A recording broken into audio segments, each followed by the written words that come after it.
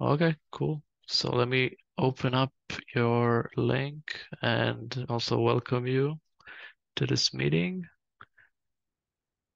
Um, and you can just take it away when you're ready. Cool. Um, yeah, so we have been looking at meshing the CDI um, sort of workloads. Um, but there is an issue at the moment with a lot of the service meshes, such as Istio and Linkerd, um, where they hit this same issue with meshing Kubernetes jobs, um, but more specifically transient pods. Um, so it's not uh, handling the, um, the sort of the SIGTERM, the uh, stopping of the proxies, um, as they're called, on these uh, types of workloads. So the upstream um, sort of service meshes, both Istio and Linkerd suffer the same issues. Um, and their suggestion is to basically send a post hook um, sort of command which triggers the shutdown of those proxies, um, which is that example there. So there were sort of two suggestions we we sort of proposed. One was actually uh, making it configurable via the CDI config, um, but doesn't seem quite necessary to make the API changes. Um, so the sort of second option was to use the um, annotations on the pods. So this Linkerd example one uh, would be included on all meshed pods, um, including the KH jobs. Um, and that would be, there would be another annotation as well, which Istio use, um, which KubeVirt have actually already got in their repo as well um, for meshing VMs with Istio. Um, so it's the same same principle. Oh, I didn't realize KubeVirt has this uh, change already. Yeah, they ha they have the um, the Istio one. I don't think they have the Linkerd one at the moment. Um, but I think with the passt networking stuff they've got coming in, it kind of makes those um, annotations uh, redundant. Mm -hmm.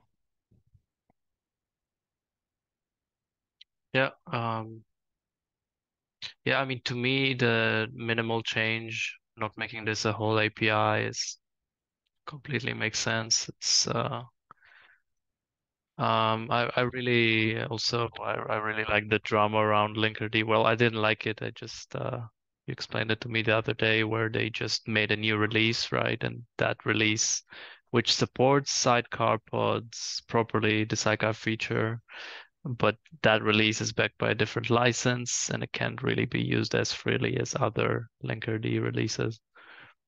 Yeah, yeah, which is a bit of a pain at the moment for anyone using the service mesh. Yep. Um, yeah, just uh, let people chime in. How's uh, how are people feeling about this? Yeah, yeah, I'm fine with it. We can just add the annotations. Cool. Works for me.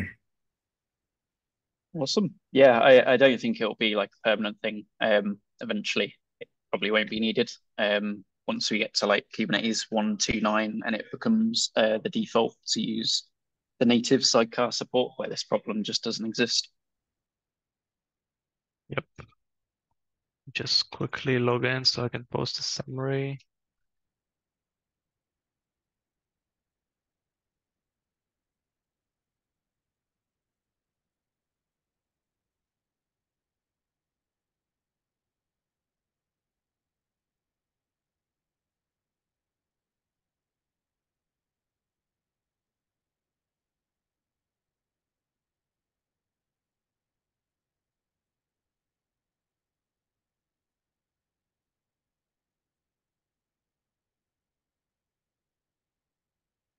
Um, should I uh, dive into the Linkerd license thing or yeah, it's fine either way. So I yeah, I don't think it matters. But so yeah. is there there and there's an Istio one too well? Yeah, there's there's an Istio annotation as well. Um, probably need to go have a look at exactly what they um, suggest and propose and just verify that's the same issue. Yeah, I mean, yeah, if we're gonna do one, we may as well have both.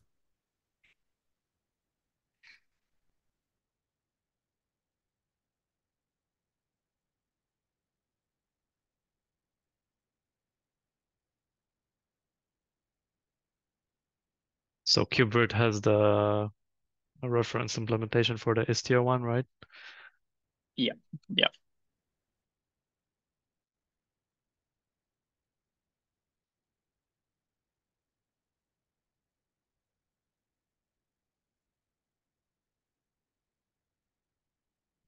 Right.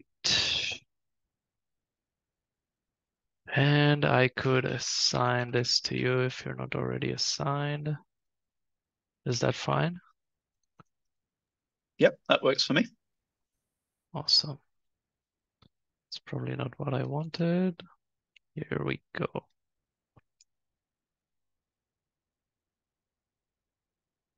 Nope, that should work. Okay, cool.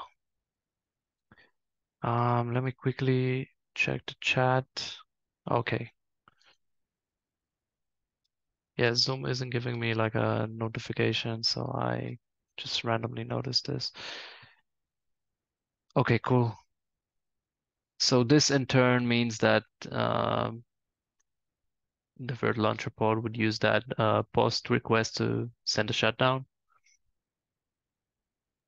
Um, not quite. So that would just instruct the VM to be meshed. Um, but I've actually also found the same issue with the virtual machine sometimes where the pod just never gets terminated.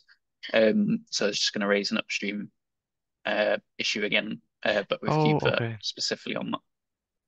Okay. I thought you meant that this is recognized by um, KubeVirt and the follow-up for this would be that shutdown signal. But yeah, we- we should probably get this Yeah. for, yeah. They do make some assumptions um, for the networking. So when like masquerade interface is used based on that annotation, they do some um, changes to like the routing rules and everything. hmm But yeah, we'll probably have to have a look at that as well. Yeah, I I think you mentioned this to me. Your real intention is uh, mostly about meshing the VMs, right? Yeah, ultimately that's probably more important. Yeah. Um, cool. Cool. And oh, and uh, some of us, some people that are not in this meeting were really interested about the use case as well. Um, I think you mentioned it to me briefly, but uh, something about meshes graduating to have more features in them, not just microservice communication, something like that, right? Yeah, so yeah, so I mean the importer pods don't have much uh, intra-cluster communication with pods, but there's stuff like health probes and those other sort of things as well, which um, can be meshed. So there is other advantages to it. hmm Okay, cool. Awesome. So I think we're good on this topic. So I'm going to go back to the doc. Uh, and Shelly, if you want to go with uh, with this topic now. Um, okay, so basically, um, we have tests um, to run the backup scenarios with uh, Windows VM. And uh, before we, any VM, before we uh, back up any VM, we will run fsfreeze to the system.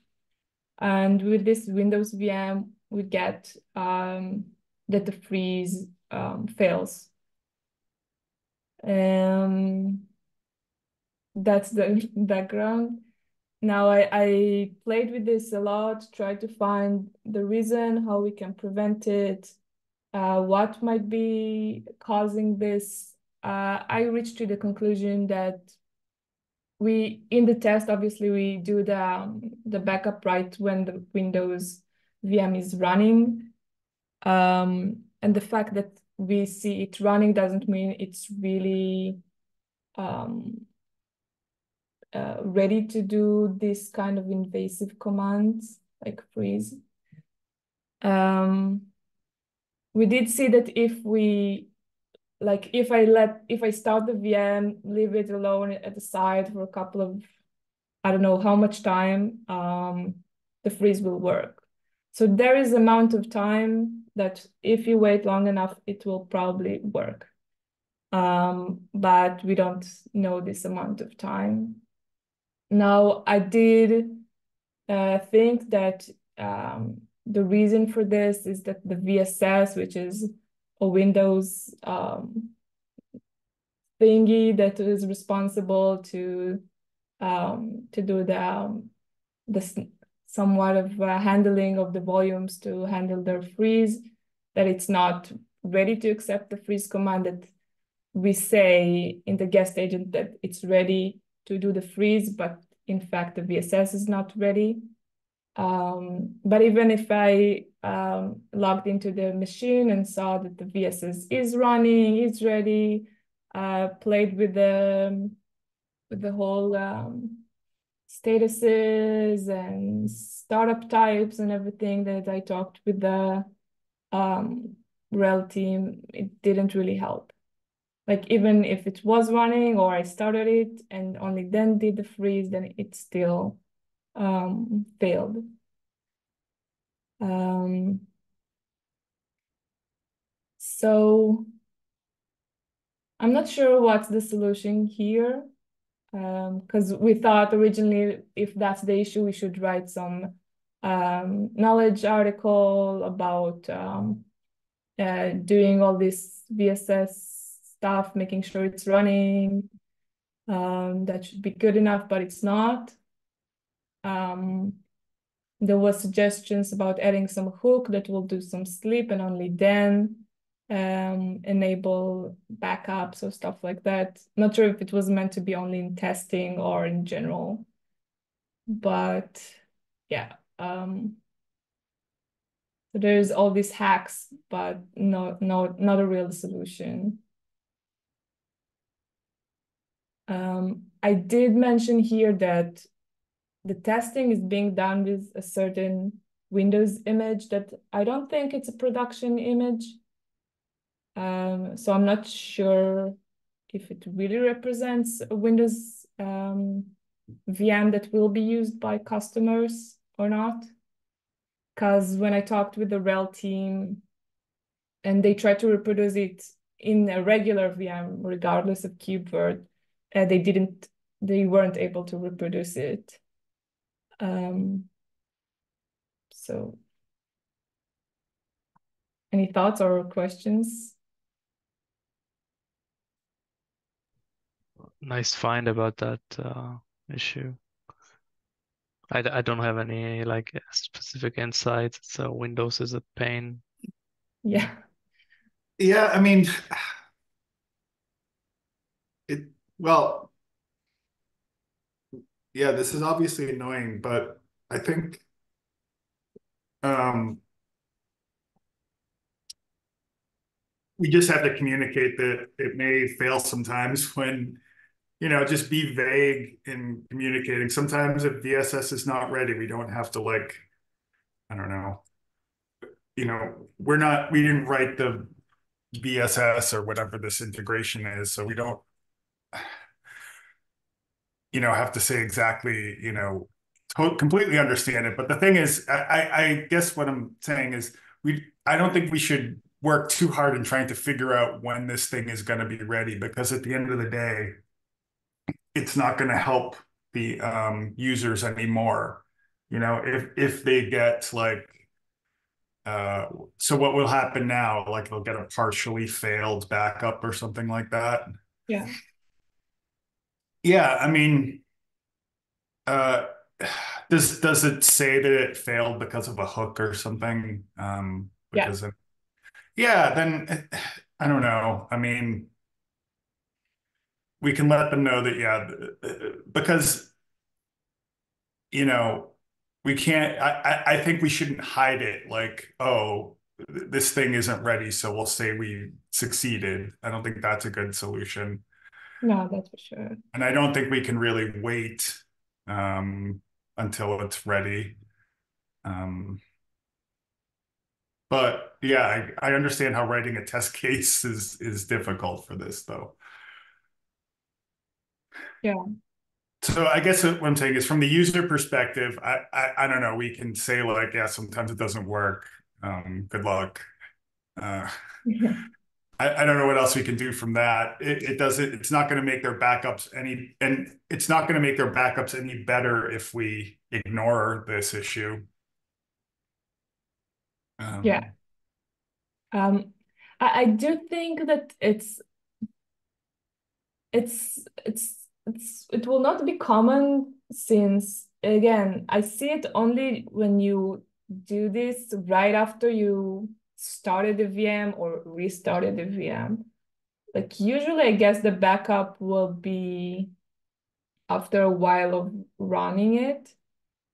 And also if I think if you run it again or at, like one or twice again, it will succeed eventually.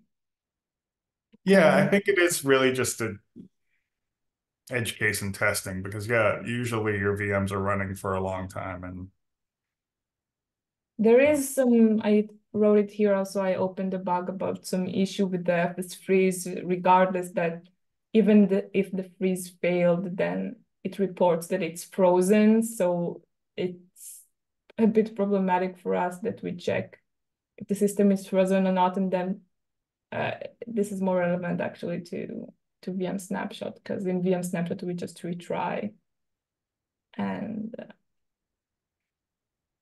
and we will say and we will continue with the, the snapshot because uh, it shows frozen the next time we do the FS freeze.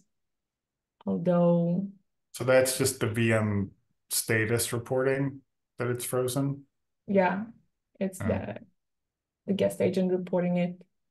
There you have it. Yeah, I mean this this isn't a bug that we can at least investigate and fix. Um, I don't know that we'll have much luck figuring out when Windows is ready to freeze. Yeah. Um, so they wanted to do some kind of of knowledge article, but I'm not sure what we can write there. Just if it happens to you, try again. I don't know. Yeah, I mean, just you know, sometimes if a via if you know uh Velero ADP backup happens shortly after VM is started, um, make it a partially failed.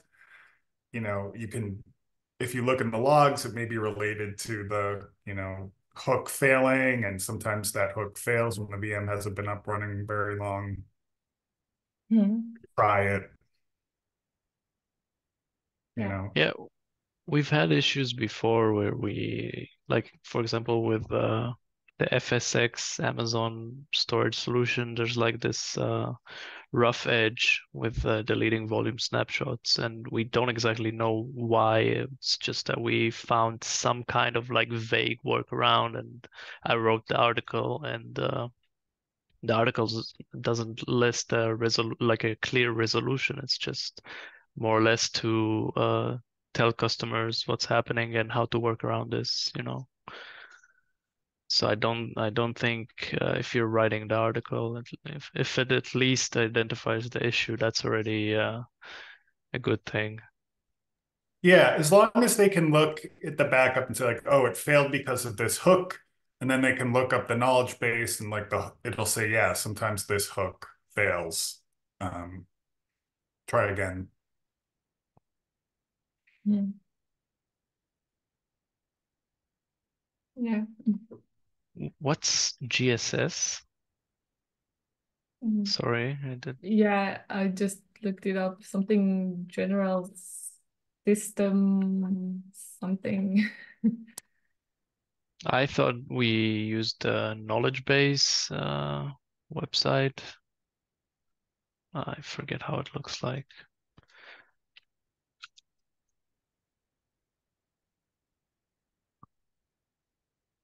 Yeah, this this thing here.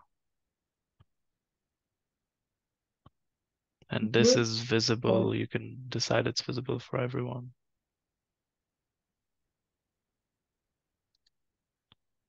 Anyway, um, yeah, I guess, yeah. Yeah, I, I wanted Adam to to get another uh, look at this or opinion on this on how to resolve this ticket. So Yeah, and maybe the image difference between what we're testing and what the RHEL team is testing, that's uh, an interesting point. I know there's some internal people at Red Hat that manage the Windows images. So Yeah. they kind of hold all the information about the versioning and stuff like that. So maybe something can be improved there. Maybe like a newer guest agent. Um, yeah, I'm not sure if it's even the guest agent in the image and not like Yeah. big- like you know you have all these kind of versions for the Windows and like I try to use one from the templates or the instance type, I don't know, from the OpenShift um, catalog. And I I couldn't um, you know start the VM because it needed some credentials. And the one that I use for the test is just, I don't know, a hacky one. I'm, I'm not sure, like a free one. So Yeah. So there's someone managing it. Um, someone in QE specifically, that's all I know. But like it's manually managed by somebody and you know, they have the licensing and all that stuff. And they bake it into the image. mm. See. Yeah, so I'm not sure. Okay, I think there's nothing uh further on this issue though, Yeah. so I could just go back here and um, I just copied the CDI issues section from the previous meeting. So this is likely not true anymore. We have newer ones, but I'll just open it up and we can go from there. And uh, we were looking at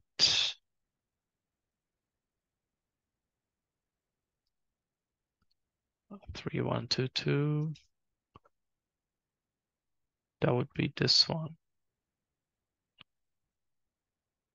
So I guess this is new ones, these two. So create documentation explaining how PVC labels are derived from Envar. Okay, so this is the author of, of the PR that introduces the feature.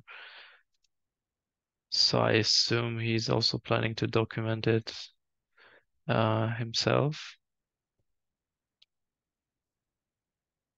Yeah, that would make sense to me. So I'll just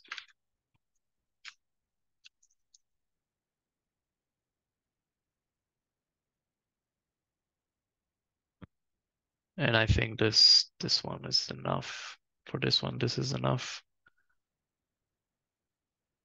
And for a more interesting one, let's see. Uh, the data volume pointing to an existing virtual machine was deleted.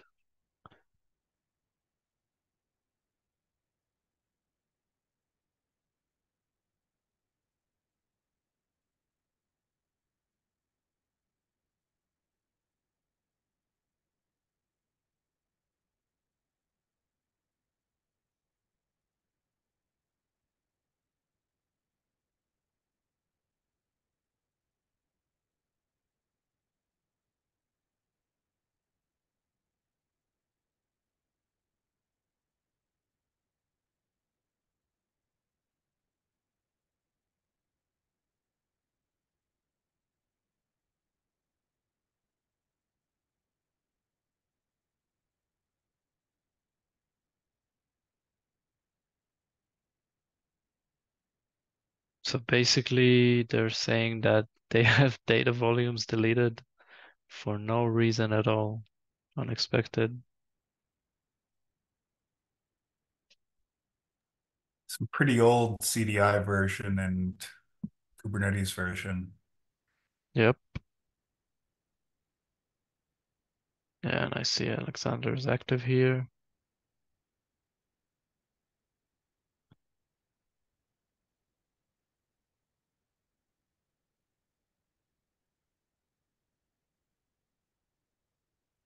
Kubernetes bug that just deletes uh, resource. That's hardcore.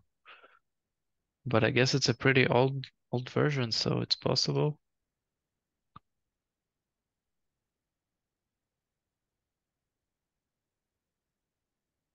So it got deleted after a live migration. Is that what happened? Um, I think they're just like pondering the idea. Virtual machine migration causes the data volume to be deleted. The virtual machine was deleted. Well, if the virtual machine is deleted. I think virtual this is just, yeah, I don't Mm. think so, because in this comment, he says no deletion timestamp on the VM. Is not set, I mean, I think that list above is just like, you know, uh, possible reasons. And he's kind of trying to go through them and rule them out or something.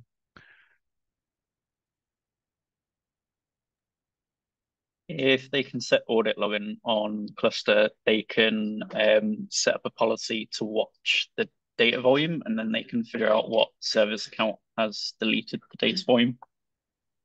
Yeah, that's right. It gives you a true source of what's deleted the data volume.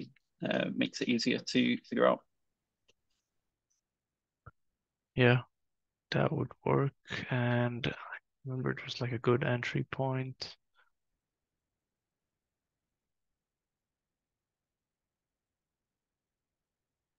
Yeah. Yeah, that's the one.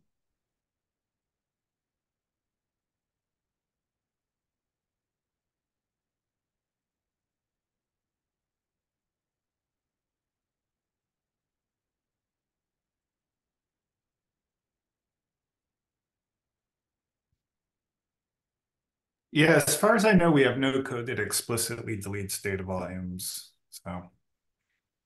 Um,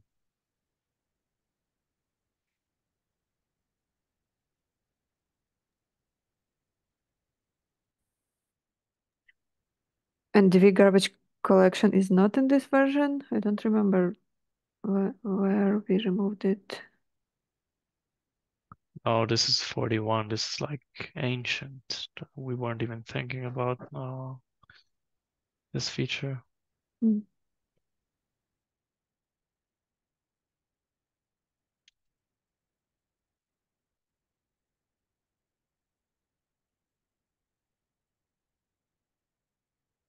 Yeah, thanks for that idea. And yeah, generally, I'd just love for them to switch to a newer maintained version of CDI.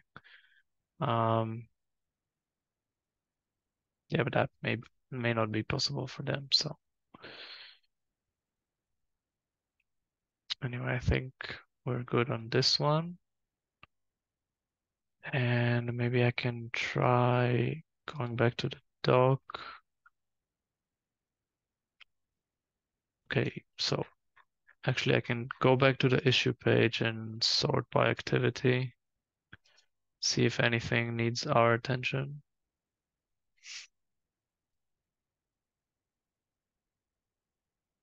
So this has been getting some traction.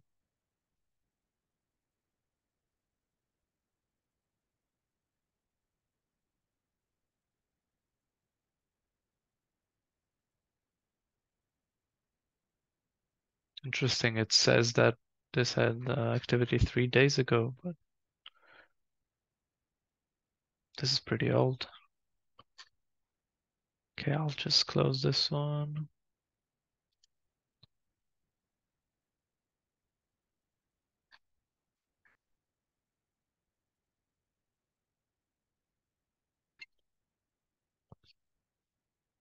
Um,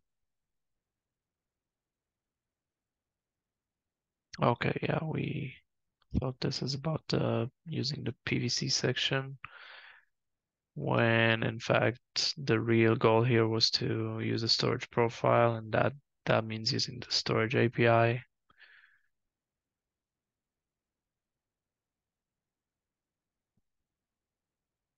Okay, so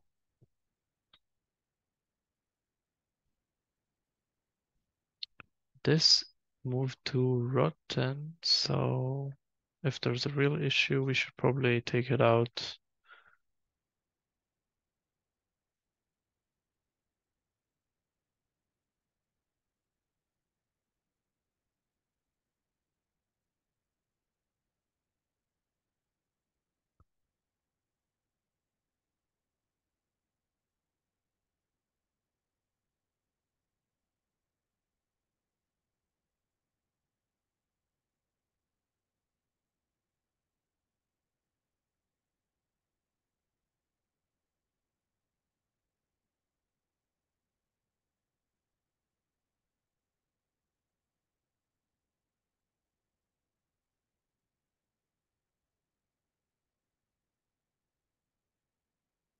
So this is about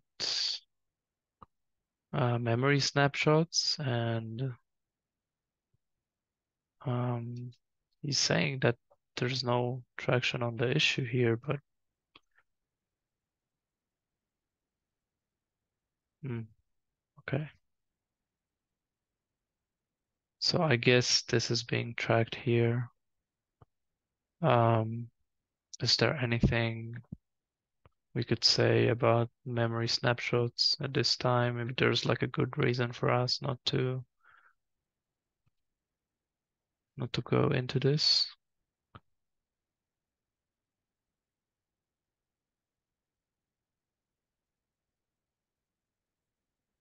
Okay, I think I'll just then go back and close this one.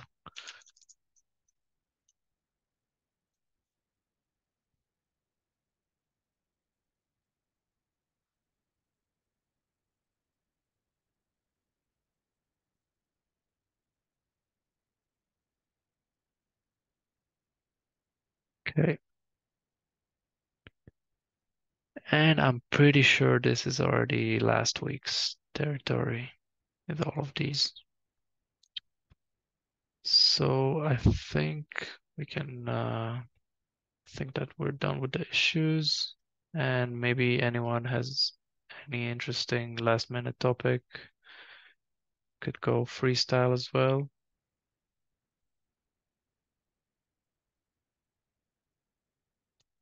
Right, so I guess we'll end here. And thanks for joining and see everyone in two weeks. Bye bye. Thank you. Thank you. Bye-bye. Bye bye.